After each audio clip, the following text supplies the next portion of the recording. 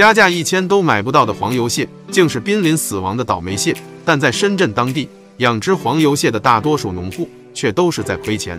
养殖场大哥在日常巡逻时，就发现了一只倒霉蛋。由于在水中的搏斗，从这只蟹的腿部就流出了黄色的黄油。大哥赶忙将它送入冰水中，蟹油便扩散了开来，这样能防止蟹油流失的更多。接下来，这只蟹的命运则是入锅。像这种通体都充满蟹黄的螃蟹，就是非常稀有的黄油蟹，完全不需要任何经验，只需观察青蟹的腿部，就能辨别出黄油蟹和普通膏蟹的区别。黄油蟹的腿部发黄，看上去晶莹剔透，透光性也很好。要得到这种蟹，和玩彩票没有区别。如今却能靠人为的干预。在一般的养殖场内，工人一般都会给青蟹食用一些丁螺，但丁螺的肉质的营养欠佳，卖出去的黄油蟹偶尔肉质就会泛黑。养殖场也遭到了一些客户的投诉。舍不着孩子套不着狼，养殖场决定用白蚬喂养黄油蟹，能极大的保证黄油蟹所需的营养。养殖场在喂养白蚬时，并不用每天去投喂，但工人每天都会沉入水底，在水底淘一部分白蚬壳上来。每当发现白蚬肉被吃的差不多后，才开始继续投喂白蚬。除此之外，想让黄油蟹冒黄油，养殖场还有一个重要的步骤要去做。这种一碰就流油的螃蟹，你绝对吃不起。在自然条件下获得这种黄油蟹，全靠天命。但在如今的养殖场内，这些螃蟹可倒了大霉了。养殖场会将池塘的中央加高，两边则会放低。在夏季的高温下，池塘中心的水温就会变高。当黄油蟹感受到高温时，就会情不自禁往水温低的地方去钻。热胀冷缩，螃蟹的血管就会爆裂，黄油就会因此散布全身。自然条件下，青蟹一辈子要蜕壳八到九次，千分之一的概率下才有可能发育出黄油蟹。像这样的鱼塘设计，能大大增加黄油蟹产出的概率。不过，随着池塘中央被垫高，也会出现大量的死蟹。由于池中的水分在不断的蒸发，于是水中的盐度也在不断的上升。黄油蟹喜欢生活在低盐度的水中，盐度过高就死亡。养殖场别无选择，只能祈求老天多下雨，将鱼塘中的水分稀释。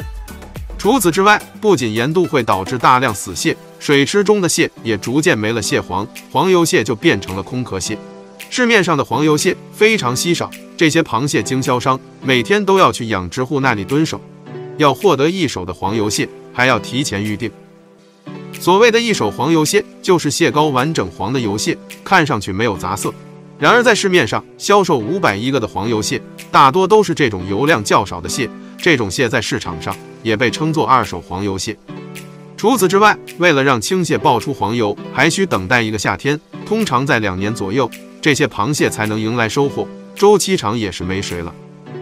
你买黄油蟹时，养殖场一定会塞上一堆草，猫腻实在是太大了。在这家黄油蟹养殖场养殖的上万亩黄油蟹，会在每年的七到八月迎来收获。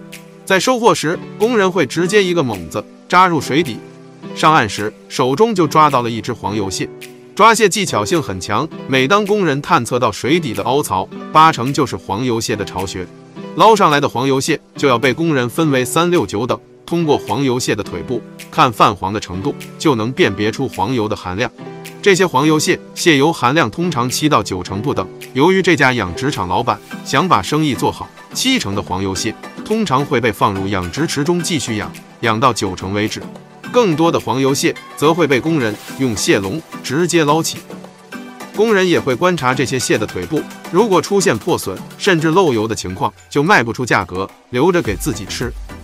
当螃蟹要被送上路时，工人就会用泡沫箱将螃蟹打包好，并在其中塞一些小草。其实这并不是黑心，养殖场塞鲜杂草，目的在于营造一个池塘边的氛围，让高端蟹更放松。除此之外，运送途中。黄油蟹也不会经过任何冷冻，这样能保证黄油蟹拥有最好的口感。黄油蟹价格贵，但加工方法却很简单。饭店加工黄油蟹的方式一般都是清蒸。为了让黄油蟹减轻痛苦，人们通常会将它们放入冰水中，将它冰晕，这样就好下手。